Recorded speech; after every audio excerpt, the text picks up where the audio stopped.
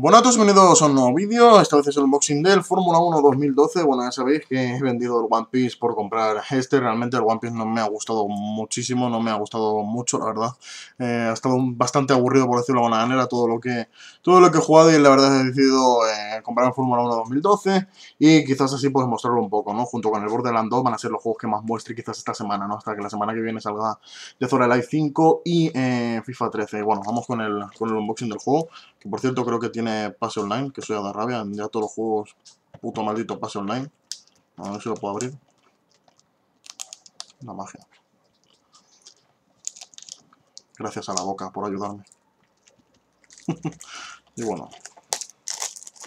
Quitamos el plastiquito.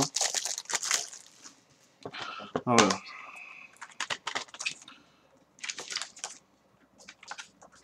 No sé si es pase online, pone pase VIP. A ver, código de acceso online eh, de un solo uso. Sí, básicamente es pase online. Pasa que tienen que ponerlo con ese nombre para, no sé, camuflarlo o algo. Pero bueno, en verdad es un pase online. Y bueno, básicamente aquí tenéis el juego y tal. Y bueno, no sé lo que subiré realmente. No sé si subiré el campeonato, si subiré los circuitos sueltos, si subiré el modo campeones, no sé, subiré de todo, ¿no? Para que lo veáis y tal. Eh, como digo, junto con el Borderlands, pues serán los, serán los gameplays, por decirlo de, alguna manera, de esta semana, para que lo veáis bien y tal. Eh, pues si alguien tiene dudas para comprárselo y todo esto, bueno, serán los juegos que más eh, voy a enseñar, aparte de los de siempre, ¿no? Call of Duty, Trials y todo este tipo de juegos. Y nada más, chavales, esto ha sido todo y nos vemos en el próximo vídeo. Hasta la próxima, chao.